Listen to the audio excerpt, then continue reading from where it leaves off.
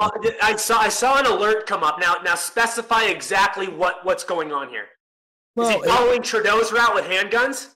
No, not well, not direct. See, what he's doing is he's doing what Beto O'Rourke did. He's standing on the graves of children and he's using it to try and find an issue that will help Democrats in the midterm elections. That's exactly what he did. He pushed the same message. Literally, three days ago, I put out a video saying, do something is the wrong question. It is the wrong answer in dealing with mass shootings, school shootings, and crime in general. Three days ago. And today, he said, we have to do something. Your America is asking us to do something. And this is what I want to do. This is insanity. It's the wrong question because it's not do something, it's do something effective, do something efficient, do something that actually affects criminals, not American citizens, which is what they have been doing for five decades in a row. And that's all we're hearing from them is they're going to say, well, we're going to take away your guns. We're going to take away your guns. We're going to make it hard for you to exercise your Second Amendment rights. That's the same thing they have been saying for five decades, whether it's the New York Safe Act, magazine bans, gun bans, whether it's red flag laws. The latest thing they just put out is HR 7910. I want people to look this up because it's called the Protecting Our Kids Act. That was by uh, Representative Jerry Nadler and, of course, Representative Sheila Jackson Lee, the woman who put together H.R. 127, which is targeting blacks and women and making sure that they can't own a gun. And so this new bill, H.R. 7910, called Protecting Our Kids Act, is a wish list of stupid ideas that will never protect a single child in America. I Didn't get a count of this, and I really want to see it. But I would swear to you that I believe that Joe Biden mentioned kids, that he's doing this about kids at least 20 times in his, I think it was a 20 minute speech. He's running on the dead bodies of children, just like Beto O'Rourke, making people get so angry, so upset because, oh my God, we have to do something to protect kids. Well, guess what? Not arming teachers doesn't protect our kids. Making sure that the buildings are secure that is something that would help our kids. Saying that mom, the woman down the block, an 18 year old woman, a 22 year old woman, a mom who's 40, who has two kids, anyone to say that they can't protect themselves from some criminal because Joe Biden says you can't have a gun. Well, that's not helping them. That's not protecting them. Having not having armed security uh, SROs, armed security in our schools. That's not protecting kids right. because we know for a fact, as this showed us, if you do not immediately take out the threat to the kids, well, guess what happens? People die. We've seen this, and I've been covering mass shootings, school shootings, gun control for 15 years now. Okay. Yeah. And I can tell you very simply that we know for a fact the sooner that these individuals are engaged, the sooner that you will see that the event ends and more lives are saved. It is always the case, it is always what happens. Now, when you step away from that, and every time that we have seen police step away from that, we have seen more and more individuals harmed. It doesn't matter whether it's school, whether it's a gun free zone, Orlando nightclub, whether it's a, a San Bernardino, or any of the schools, and there are many of them that we can mention. So it's always the same thing. So the question isn't um, what we do know, which is that they could have taken this guy out. There were windows there. There, there's a lot of things, and it took one man walking in, what 19 people standing out there, one man to walk in, confront the shooter, and the incident ended. But it's also a mentality. We have a mentality that's saying, let's do something, but not the effective thing. And that is something I want people to understand. It is the worst thing we could possibly say to any politician is do something. Well, they did something in Texas, in Uvalde. And what they did was the wrong thing. Right. And that's where we have to understand. It's not enough to say, do something. We have to say, do the effective thing, do the right thing.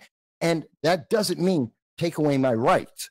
It means let's look at this and figure out a better plan. I just gave we had the subway shooter, we had this school shooting, we have Buffalo, we had uh, the medical doctor. Those are four different incidents, and guess what? They're all four different reasons why someone decided let's kill innocent people. From what I understand, Upper New York is very pro Second Amendment. So why are they targeting lately all these Second Amendment areas during a gun control hunger and election season? I'm just one. There's so many things that I could keep going on that just don't add up. But go ahead. Before the, before the other guys go, let me mention it's not that these are new stories, it's new coverage. There's a big difference. The news media, these things have, we get about 20 mass shootings a year. About 100 people die in mass shootings a year, some years higher, some years lower.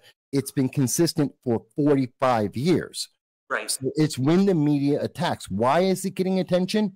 Because we're in the summer of the 22 uh, 2022 midterm elections, and Democrats don't have an issue to stand on. And that's why we're hearing about it the way we're hearing about it, which is why the New York subway is a dead issue and they're not talking about it. They're not talking about the mass shooting in Chicago that happened two weeks ago or what happened over this weekend. They're picking and choosing the story that pushes the agenda, which is about an election. It's not the government, it's a setup on emotions. Biden said there's no absolute in the Second Amendment. There is.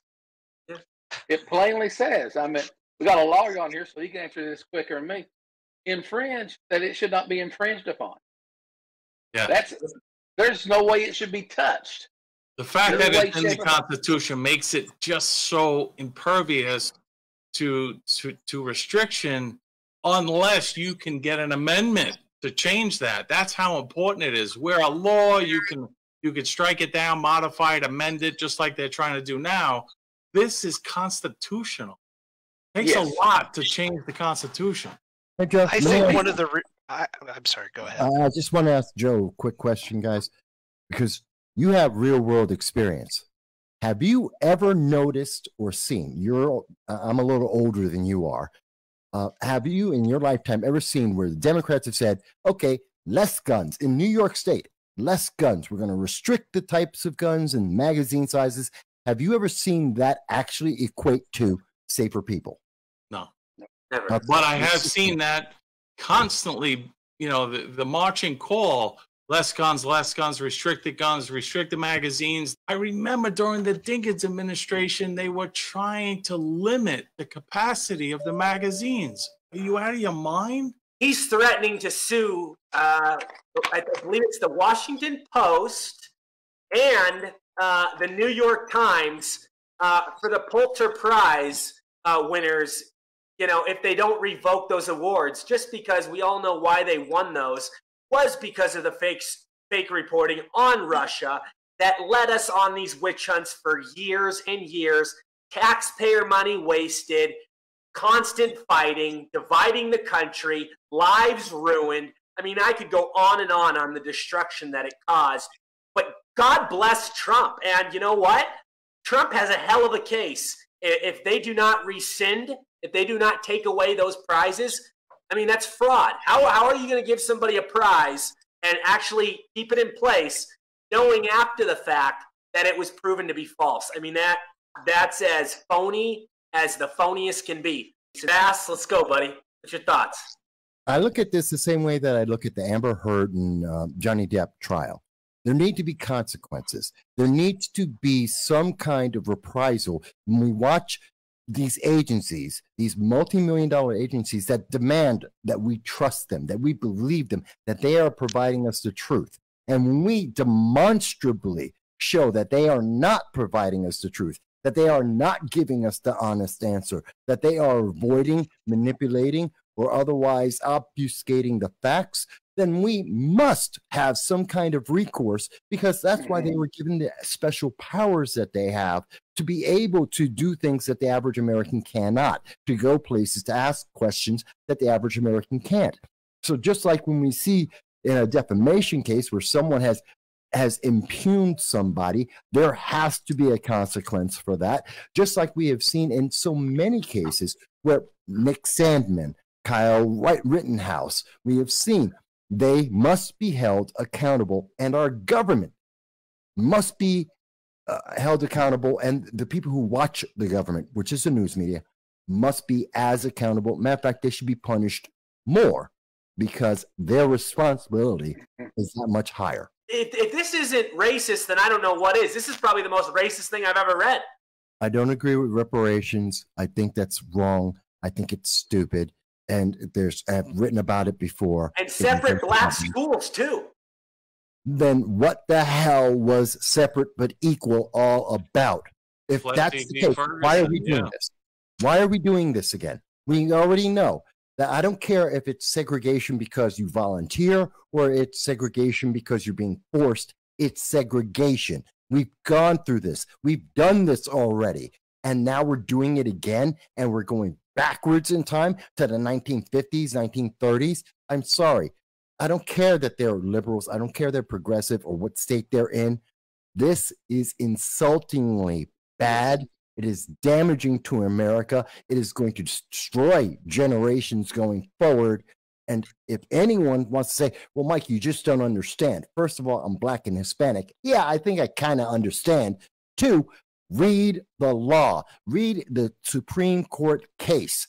Let's not go backwards in time and have to redo this. It's not going to be fun for anybody.